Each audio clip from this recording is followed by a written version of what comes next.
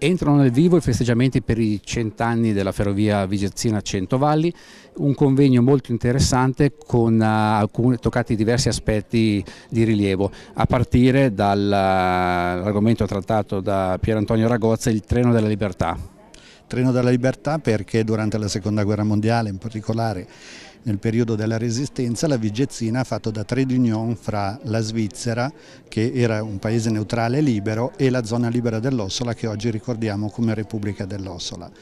E sono arrivati degli aiuti, la Svizzera attraverso questo treno ha anche accolto tanti profughi, tanti bambini, quelli che venivano chiamati i bambini del paese del pane bianco e poi durante la Repubblica dell'Ossola sono pure arrivati anche un treno di armi con una sparatoria alla frontiera, una cosa proprio un po' da film. Finita la guerra, la Vigezzina ha riportato in Ossola queste famiglie, questi profughi, questi bambini e poi la Vigezzina è stata anche protagonista di se stessa nel 1974 quando con le immagini che abbiamo visto anche sullo sfondo che abbiamo avuto grazie a Viceo Azzurra TV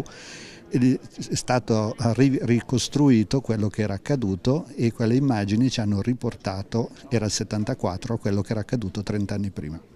Una delle pagine più perniciose della Valle Vigesto è stata quella del 1978, il 7 agosto, con la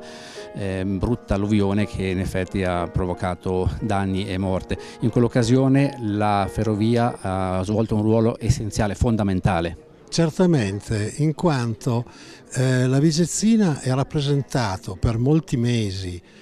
subito dopo l'evento alluvionale, l'unico mezzo di trasporto sia per le persone sia per tutte le necessità della ricostruzione, tutti i mezzi d'opera, i materiali che sono stati trasportati in Val Vigezzo. Senza la Vigezzina non ci sarebbe stata la ricostruzione coi tempi così rapidi e così certi come in effetti poi è avvenuto.